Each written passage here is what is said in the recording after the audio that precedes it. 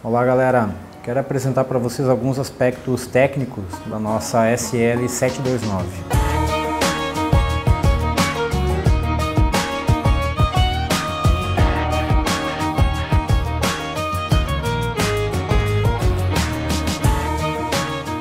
729 ela já conta com o nosso quadro top de linha, que a gente usa na SL729, 829 e 929. Ele é um quadro que pesa em torno de 1,450 kg, feito com alumínio X6, que seria uma variação do alumínio 7005. Então ele tem uma combinação de, de elementos aí que dão maior rigidez e, e robustez ao material. Então o material sendo mais forte, a gente consegue usar menos material, deixando o quadro mais leve. Então isso garante o baixo peso comparando com outras ligas de alumínio. O quadro ele tem os tubos trefilados, isso quer dizer que o, o, os tubos do quadro próximo à solda, onde exige maior esforço, ele é mais grosso.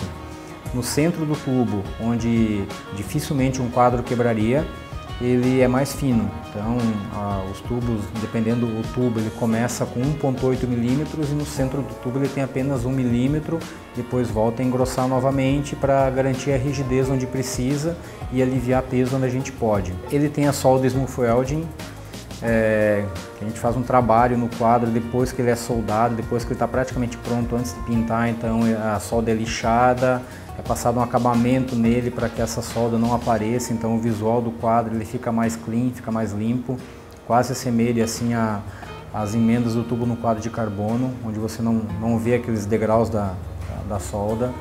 É, outro ponto importante é que não é só estética, com a solda acabada sem cantos vivos, tende a eliminar risco de quebra no quadro, porque a vibração do tubo ela costuma parar, interromper onde tem canto vivo. Então o tubo sendo mais arredondado, essa vibração continua e não para naquele ponto. Então aumenta a rigidez na próxima solda.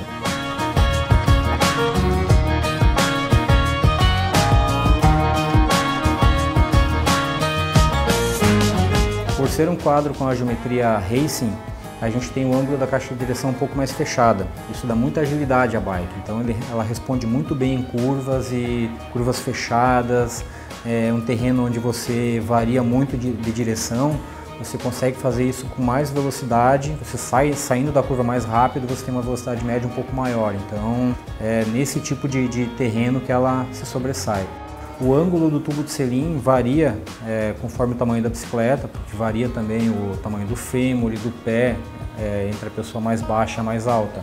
Então o tubo de selim varia, mas em todos os casos ele joga o atleta um pouco mais para frente, o que favorece um pouco a, questão da subida, jogando o centro de gravidade para frente para evitar que a bicicleta que a bicicleta empine numa subida mais íngreme, digamos. A gente monta ela com a RockShox, é, modelo Recon RL, com trava no guidão, 100 milímetros também uma suspensão leve, já com eixo de 15 milímetros, eixo passante. É, os componentes são canote, mesa e guidão da Controltech modelo CLS. São componentes leves, sem agregar um valor excessivo na bicicleta. O selim da Prólogo também, uma, uma ótima marca, um selim muito bom. Quanto aos freios level, a, a Avid, a SRAM melhorou bastante a qualidade dos seus freios. Ele tem uma ergonomia bem legal também para quem gosta de usar o freio mais baixo. Ele tem uma, uma pegada no manete um pouco melhor do que os freios da Shimano. Tem as preferências de cada um, mas assim, é uma linha de freios que evoluiu bastante no mercado nos últimos anos. O grupo dela é o SRAM NX. O NX há pouco tempo atrás começou a vir na versão Eagle, ou seja, ele tem 50 dentes no cassete. A catraca menor é com 11 dentes, então essa que é a diferença entre o NX e o GX. O GX, que é um grupo acima, que a gente usa no 929, já vem com 10 dentes. Porém, o valor do cassete aumenta bastante. Então, é, o grupo GX geralmente ele vai ser usado em bikes mais caras e por causa dessa diferença, realmente muda o cubo da roda, muda o cassete e tem essa diferença de preço.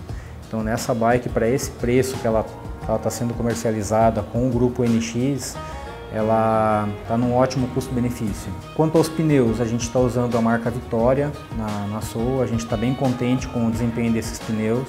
Ele tem uma, um acabamento na lateral que deixa ele muito forte comparando com outras marcas, assim, quanto a rasgos, a furos.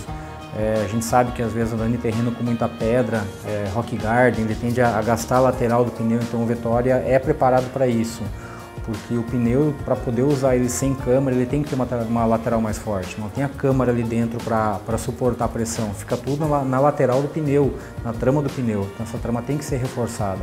As rodas que a gente usa na 729 são da marca Brave, são rodas já rolamentadas.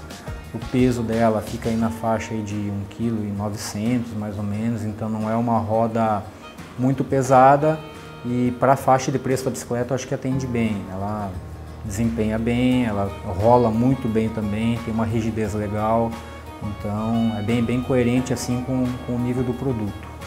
A 729 vai atender muito bem quem está pensando em começar a competir, quem iniciar nas competições. Vai atender muito bem também quem já compete, já tem uma experiência, já conseguiu usufruir da agilidade, da, da rapidez dela e atende muito bem também quem que apenas curte uma trilha, se divertir, pegar aquela trilha mais técnica com velocidade, é, poder usufruir das retomadas e arrancadas e brincar com os amigos.